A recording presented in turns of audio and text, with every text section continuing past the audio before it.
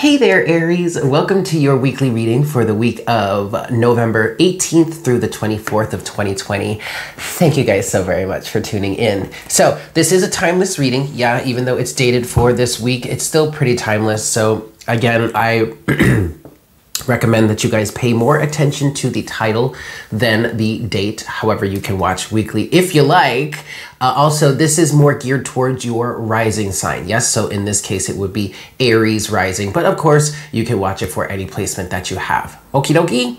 All right, let's just get into it here and see what we've got for your week. Here we go.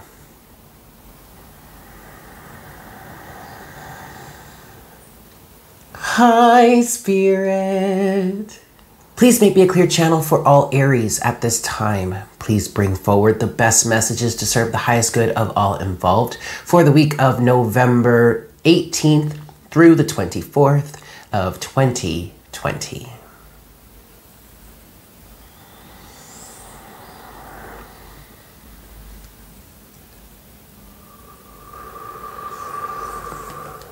Thank you so very much, Spirit. All right, Aries. Let's get into this here and let's see what we've got for your week, yeah? Five shuffles. One.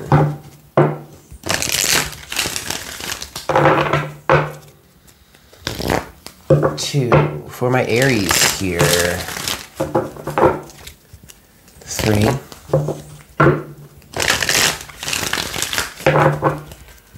Four. And five. All right, Aries. Let's see what we've got for your week here. So, for the 18th through the 24th, what's going on for you, Aries? What's going on for my Aries here? Okay. We have man holding a coin and angel of strength. Uh, okay, let's keep going here. Let's get the rest of the cards. Um, let's give this five shuffles. We'll see what's crowning you this week. One, two, uh huh, three, four, and five.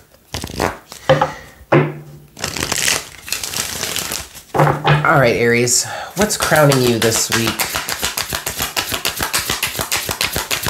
For my Aries here. Stillness. Interesting. Okay. So, um, so far, Aries, what I want to say is, um, I, I feel like this is a masculine and I kind of feel like this may not necessarily be you. I feel like this is someone external to you. Like I know maybe maybe this could like be your inner masculine energy. Okay, but I feel like this is an individual that is of naturally of the masculine orientation.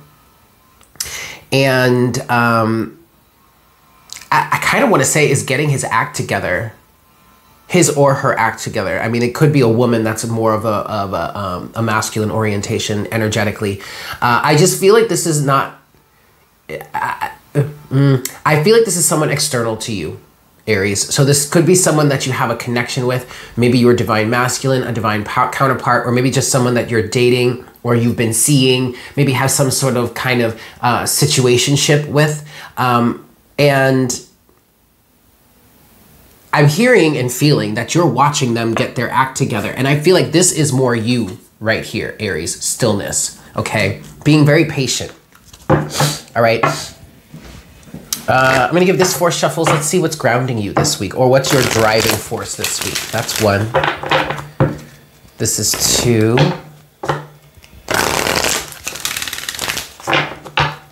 Three.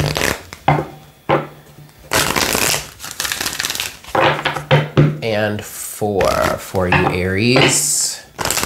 So what have you got going on? What's what's grounding you this week? What's your driving force here? Oh, fulfillment.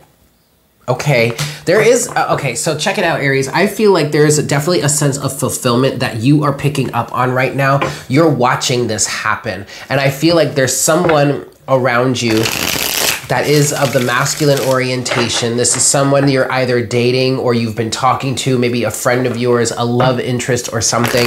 I do feel like there's a mutual interest between the two of you, and I feel like you're watching this individual get their act together or like pull up in some way okay? Um, and i and even though aries you know aries is fiery energy i'm an aries sun all right? So i get it. I totally get it. And aries is cardinal. Ooh Aries is very action oriented, okay? Um, but in this case, Aries, I feel like you have learned some pretty valuable lessons here in terms of not rushing situations and also in terms of allowing things to unfold as they are meant to. Oh my God. Um, yeah. Uh, and so you're just kind of like watching and waiting, okay? Either this is you, Aries, or maybe this is the cross watcher or whatever, all right? But um, I do feel like it's mostly you, Aries. You have the Page of Swords here with the Moon and the Six of Wands. Page of Cups is at the bottom of the deck here. Um, so what this is kind of saying is like you're watching and waiting and allowing things to unfold because everything is not as it seems currently. I kind of feel like this is a situation in which um, some of you in the past may have looked at this and be like, ah, this motherfucker ain't doing shit, blah, blah, blah. Like, I should just leave, blah, blah, blah. Like, I ain't gonna give no time to this bullshit, blah, blah, blah, whatnot, whatever. But now you're much wiser. Now you understand with the moon energy here that things are not quite as they seem also i feel with the moon energy things are shifting things are changing and you're and and there's a victory coming through for you aries six of wands okay? There could be an offer of a relationship soon whether it's this other person or you offers something with that page of cups that was at the bottom of the deck. Um, you have the empress here. Yeah just sitting back on her throne and watching things happen. Ooh five of swords though with the magician and temperance Four of Wands. Oh, shoot. A bunch of cards are reversed in the deck. Huh, look at that. Okay. Anyway, um... Okay, but here's the other thing that's coming through right now, Aries, for you. You have the Empress here, and you have that with the Five of Wands and I'm sorry, not the Five of Wands, the Five of Swords and Strength, but the but the Magician as well. So um, Ooh, thunder. Uh, Aries, I feel like you recently walked away from some really karmic or to toxic or nasty relationships in the past, or just nasty, terrible, awful circumstances. Okay, with this Empress energy here, I do feel like you're connected to the abundance of the universe. That's helping you remain quite still in this situation, whereas in the past you wouldn't have been. Um, but this is also you being connected to your own divine feminine nature and just allowing, being in that receptive energy, allowing things to come forward for you. Strength to the magician. You're having the strength to really hold back and allow the manifestation to happen in the time frame that it's going to happen. Like whenever it happens, it happens. I don't feel like you're rushing things any longer. Whereas in the past, you would have been really aggressive about it or really pushed really hard about it and now you're just like no I'm I'm not doing that any longer. I see the value in taking the time to allow things to develop. 4 of wands and the sun is at the bottom of the deck here. Four of Wands talking about your um, your foundation, okay? I do feel like you have, this could, I, I do feel like this is a friend for a lot of you. This is somebody that you have a really good solid foundation with, um, someone that you can trust, someone that you've known for a little bit, someone that you've been able to get to know and, you know, you have a good solid foundation with each other and it's only, it, it can only get better from here. It can only develop and blossom and grow, and grow from here. The excuse me, the hermit, um, you've done a lot of soul searching. You're kind of keeping to yourself, um, but also you're remaining an individual. You're not trying to rush into anything. I really feel like you're not trying to rush into anything, Aries, and this is really good.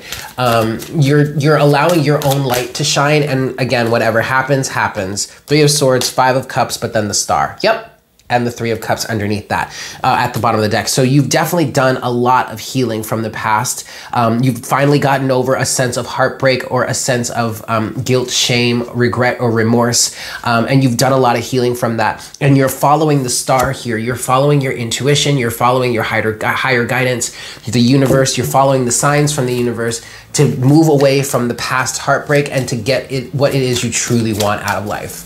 And out of a relationship. This does feel like a relationship energy for you, Aries, okay? All right, I'm gonna leave it there and we're gonna go a little bit deeper um, into the tarot here. So we're gonna look at uh, potential storylines for the week or just deeper messages for the week, but we are going to take that over to Patreon. Yes, uh, if you'd like to follow me on Patreon, you can absolutely do so. Patreon.com slash Divine Conversations. Link can be found in the description box below. But before we go, I do want to get a closing message for YouTube here. We're using the Indigo Angels Oracle deck and just a closing message for your reading for this week. Yeah? Uh, three shuffles. One, two,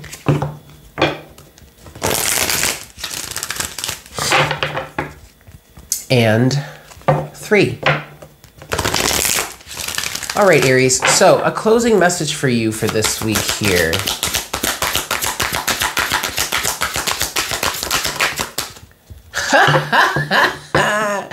yep, that's right. You have patience.